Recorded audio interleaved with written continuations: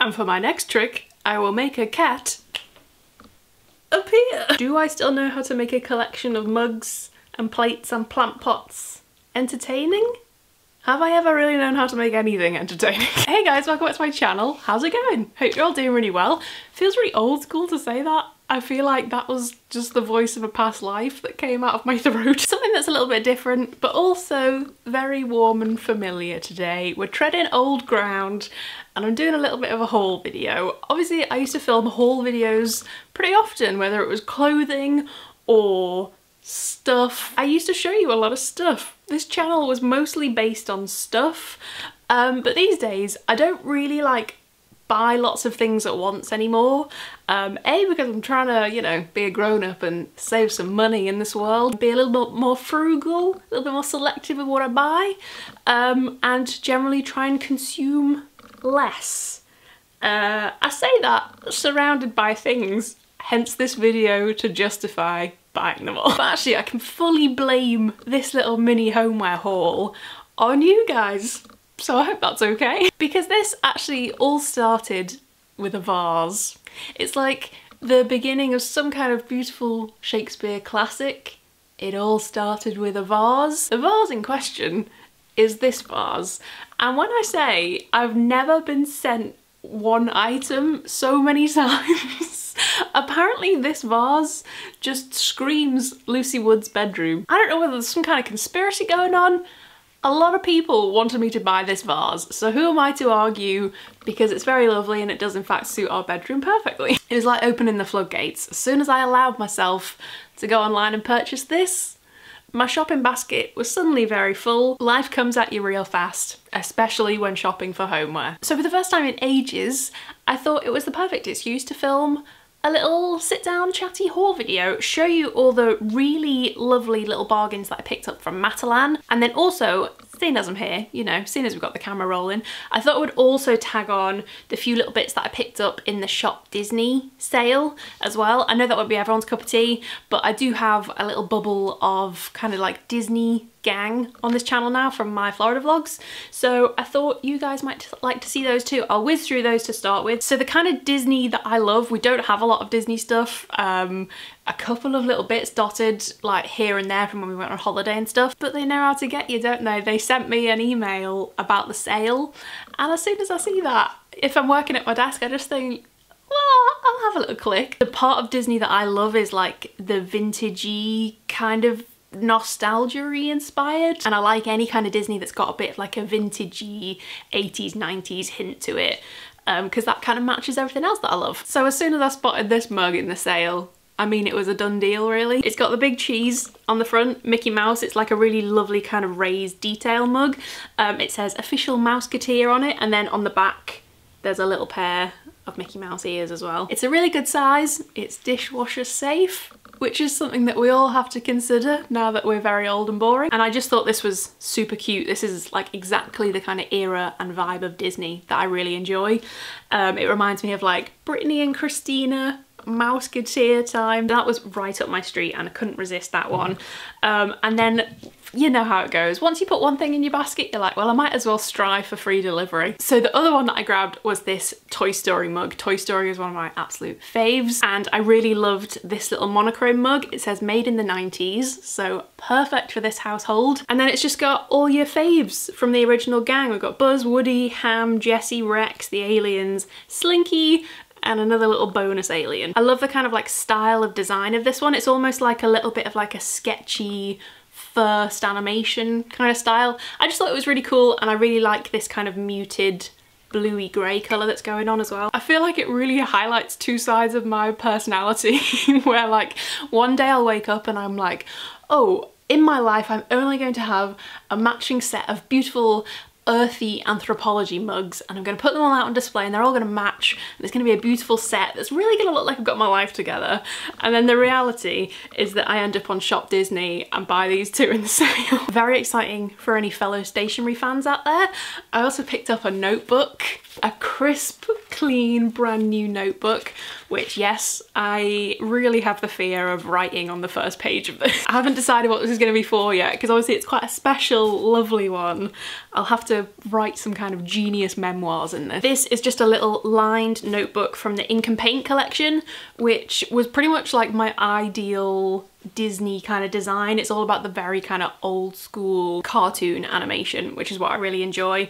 Um, so it's got all your faves on there. We've got Fantasia Mickey, Cinderella, Alice in Wonderland, Peter Pan, you know, all the old legends. Legends only on this notepad. It's almost like a kind of canvassy fabric cover, which I think is really lovely. It's got like a really lovely texture to it. I just thought this was really cute. If you're a fan of old school Disney, you'll probably really love this collection. And last but not least from Disney, before we whiz over to Matalan, um, I'm just gonna put this out there. I have found the perfect picnic bag Whoa, whoa, whoa. It's this lovely tote bag which is covered in all the different classic Mickey Mouses. It's kind of like Mickey through the ages, which I really love. And I picked this up thinking it was just like a normal tote bag. Basically, this is a lesson that I should read the description of stuff before I buy them because I keep getting surprised when stuff arrives. kind of just popped this in my basket as like a bit of a random additional tote bag, just thinking like, oh, a girl can never have too many tote bags. But actually I was very pleasantly surprised when this arrived because if you can't tell, it's actually pretty massive.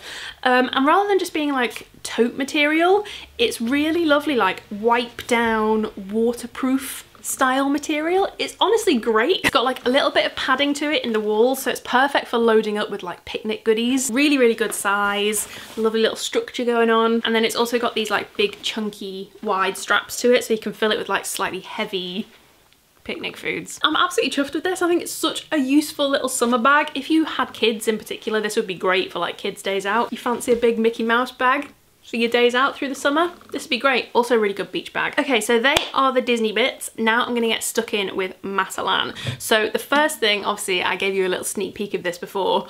The thing that kicked off this entire purchase was the vase that I have literally been flooded with messages about, which I think is so great. Like half of the stuff that I've done to this house and bought for this house has been because of comments and messages that I've had from you guys so I really appreciate it. And this is no exception so obviously this is going to be perfect to sit in our bedroom. It's lovely and weighty it's really lovely quality even like the inside is painted this lovely terracotta shade. And it's just like the perfect colour mix for this room. We've got this lovely like red terracotta-ish kind of colour nice like muted yellow handle and then this kind of like kind of sketchy florally illustration in lovely muted greens. It's just really really pretty. I haven't quite decided where this is going to go but um um, you know there's probably going to be some pampas grass or dried flowers in it somewhere and it'll look really cute. Let's do, let's do cushions next. I think they're probably the most exciting. We're all partial to a cushion. Actually, yeah, this makes sense because this kind of matches the vase. So I also spotted this little cushion that was on the website, which is this beautiful,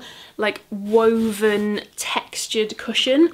Um, there's a lot going on here there's a lot. But I think it works. I think it's really nice. It's the same kind of colour palette as the vase. It's like mustard, terracotta and a little bit of like sage green in there which just works perfectly for our bedroom it's so ideal i love these kind of like big tufty bits going on there's a couple of little tassels here and i just thought this looked quite expensive i thought this kind of looked maybe a little bit like Anthropologie-ish and then alongside this one I mean, I probably should have thought this out slightly better but I just couldn't resist it. I think it's just the cutest thing I've ever seen. The other cushion that I bought is this little shell-shaped one um, and I couldn't resist this because on a lot of the interiors accounts that I follow I've seen something quite similar to this in a couple of other different colours.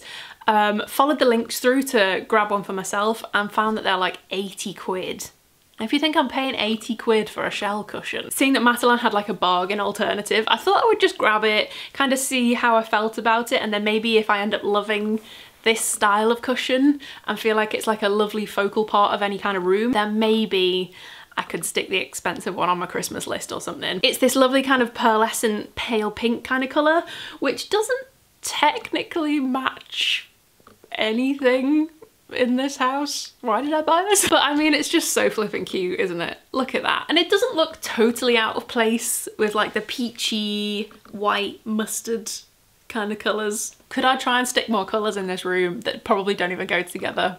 I need to calm down. Okay, this next thing, I'm gonna show you this and you're gonna say, it finally happened. She's finally lost the plot. I thought it happened a long time ago, but no.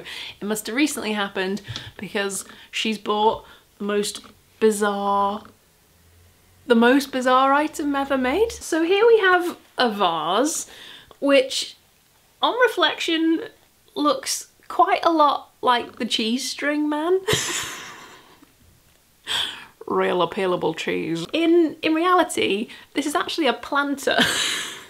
and when I say that, I feel like that makes it slightly less ridiculous. It's actually an outdoor planter. And this was another lovely surprise in terms of quality because I picked this up thinking that it was almost like a rattan kind of effect material in this like bright orange colour. Um, but it's actually like, I don't know how well you're going to be able to see this, but it's actually like, it's made of like I don't know, plaster, something hard. So it's actually quite heavy. It's lovely and sturdy. Um, and I'm trying to kind of spruce up our little outdoor patio area. We bought some really nice patio furniture. Um, so I'm now trying to make it a little bit of a cooler space. I want to get some fairy lights. I want to get some little like garden shelves. And I just thought this would be really cool if I can get some like nice big fake leaves coming out of it or something. Obviously you can just like slot your stems in there and it can be a really nice cool statement desert inspired planter cheese string planter. Matalan had a lot of really nice plant pot options actually. The other one that I also couldn't resist I'm just going to take the sticker off. The other one that I just couldn't resist was this one. I thought this was so cute. So this was listed as an outdoor pot. Oh, it was only eight pounds. Wow, that was a bargain. But it's just this lovely, it's a really good size actually. Little plant pot, it says Aloha in lovely little bright colours. Um, and I just thought it was really cute. I also love, it's got a hole at the bottom so you can actually put your plant straight in so it can drain properly. Exciting conversations around here. And this actually ties in with something else that I bought as well because I had a bit of a vision for this. I was thinking, how cute would this look with like lovely bright fake flowers coming out of it? If I could get some lovely fake but you know good quality fake flowers um, particularly sunflowers. What did I find on Matalan? Some very lovely fake sunflowers. Um, however, didn't read the product description, did I? Absolute doofus. Um, because these arrived in this glass vase and they're like resined into the bottom. Like I can swing this around and it's not going anywhere. So I said to Adam like, oh, I didn't realise these were stuck in here, but oh, actually it's fine. I'll just do a controlled smash and break them out of the glass. And Adam was like, please don't do that. That's not going to end well. So he's kind of made me chicken out of it a bit and actually I've just put these in the living room now because they, from a distance, with, with all fake flowers, like from a distance, they look really, really lovely. I've just had them like sitting in the windowsill and they look so pretty. They're such like a lovely pop of colour and they do look pretty real from a distance. Who can really say that they look great up close, am I right ladies, from a distance? It's fine. Up close, not so much. Take a step back there, my friend. But if anyone does have any genius ideas for how I could potentially pull these out of some very tough resin and put them in my cheese string, let me know. And last but not least, I feel like this has been quite a summery selection actually, and these are definitely summery as well. So I picked up a little bowl and like a serving plate in this really lovely, like bright, very yellow little lemon print. Holding this up, it does look like a little sombrero, but I promise it's actually like a little I promise it's actually like a little pop your dip in the middle, put your Doritos around the edge type scenario. Just thought these would be really, really nice for when friends pop over for a barbecue or whatever over the summer. Um, it's always nice to have little special bits to bring out, isn't it? I really love the kind of detail and effect on these. I love the kind of illustration style of the lemons. It says Hello Sunshine in this cute little calligraphy font.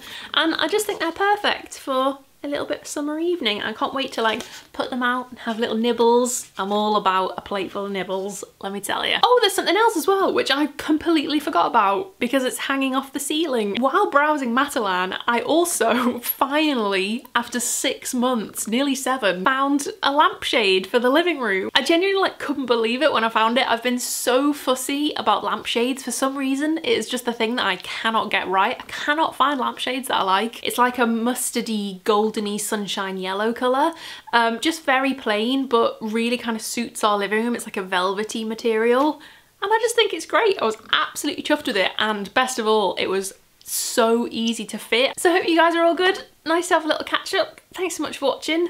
And uh, sorry I'm not uploading that much. I'm working on a little side project at the moment, which I'm hoping in a couple of weeks I'll be able to tell you about. But if you're if you're missing my content, um, I'm much more active over on Instagram at the moment. So if you want to follow me over there, it's at Lucy Jane Wood. And I think that's all I've got to say for today, except I've got a hair in my mouth. So thanks so much for watching, and I will see you guys very soon with another video.